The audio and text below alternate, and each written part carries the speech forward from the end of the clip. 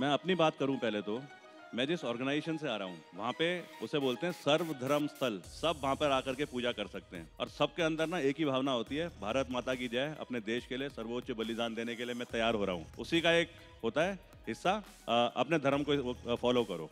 देखिए competitor contender का मैं ये बोलूँगा कि कांग्रेस तो वैसी हारी हुई पार्टी है, यहाँ पे आज हमने तो सरकार को करना है ना पावर किसके पास है? हमारे अगेंस्ट कौन ज़्यादा पावर यूज़ कर सकता है? जिसके पास ताकत है? वो बीजेपी है।